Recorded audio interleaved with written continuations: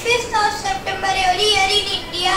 This day is celebrated on the occasion of the birth anniversary of Dr. Sarvepalli Radhakrishnan. He was the second president of India. He was ideal. He was an ideal teacher and a great scholar. Teachers Day is the best way for students to express love and respect for their teachers.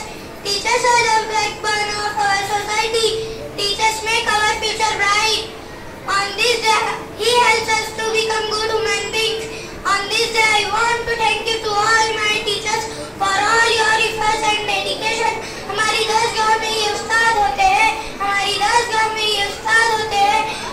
Seven million.